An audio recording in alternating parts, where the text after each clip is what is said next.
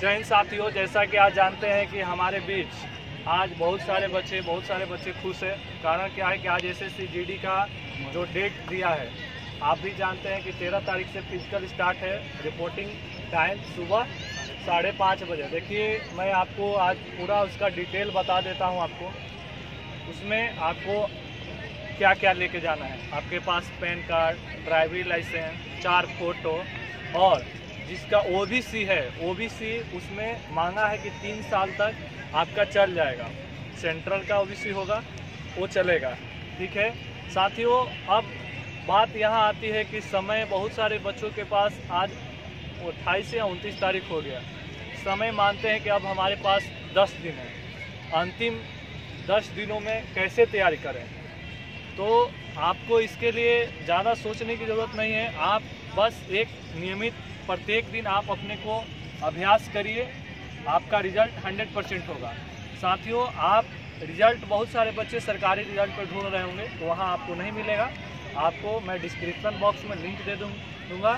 सी R P F के link पर ये आप डालिएगा C R P F direct Google पे डालिएगा, आ जाएगा। वहाँ से आप एस एस का एडमिट कार्ड जो फ़िज़िकल का पीटी और पीएसटी का है, आप वहाँ से निकाल सकते हैं। साथियों, जैसा कि आप जानते हैं कि जब हमारा तेरह तारीख को जो फ़िज़िकल होगा रिपोर्टिंग टाइम सुबह साढ़े पाँच बजे है, बहुत सारे बच्चों के मन में होगा कि सर हम खाना क्या खाएँगे उस दिन। इससे संबंधित मैं वीडियो जल्द ही डाल दूँगा, रात में उससे पहले क्या करें, कितना दिन दौड़ें। तो साथियों, आप दो दिन पहले दौड़ छोड़िएगा तो आपको माने यानी दस तारीख तक आपको दौड़ना है। ग्यारह, बारह रेस्ट रहेगा, फिर तेरह से आपका फ़िज़िकल है। इस बीच में यदि आपका टाइमिंग नहीं आता है या आप किसी संस्था में ज्वाइन किए तो ठीक है, नहीं भी किए हैं तो ठीक है। यदि आप सोचते हैं कि 10 दिन में मैं रिज़ल्ट लूँ तो कैसे होगा? पहले आपके अंदर एक जिद होना चाहिए। यदि आप सुबह, प्रत्येक दिन आप डेली आपको पाँच किलोमीटर रनिंग नहीं करना है। आपको प्रत्येक दिन सुबह में कम से कम टाइम से 40 मिनट 45 मिनट। उस टाइम में ये नहीं देखना है कि मैं पाँच किलोमीटर दूरी तय करता हूँ कि सात किलोमीटर कि आठ किलोमीटर।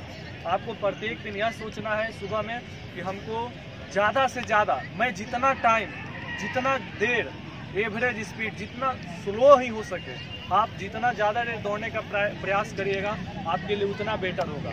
यदि आप दौड़ते हैं, बिना वार्म किए तो कभी दौड़े नहीं। दौड़ के बाद आपको क्या करना है? दौड़ के बाद आपको तुरंत जितना अब आप शूट प्रैक्टिस करते हैं, जैसे अभी शाम का समय है अब क्या होगा अभी? अभी हमारे जितने बच्चे हैं, केवल शाम में क्या होगा? शूट प्रैक्टिस होगा। उससे क्या होगा? आपका स्पीड मेंटेन होगा। आप शाम में क्या करें? शाम में शूट प्रैक्टिस करें।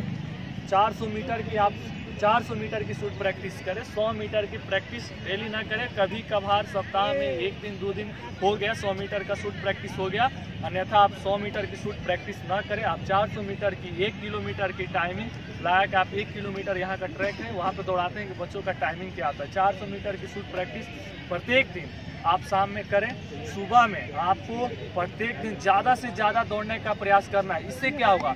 जो हमारा कॉन्फिडेंस लेवल है कि जो मेरा कॉन्फिडेंस लेवल यदि आप 40 मिनट 45 मिनट दौड़ते हैं दूरी पर ध्यान नहीं दीजिए। मैं बार बार बोलता हूँ दूरी पर ध्यान दीजिए।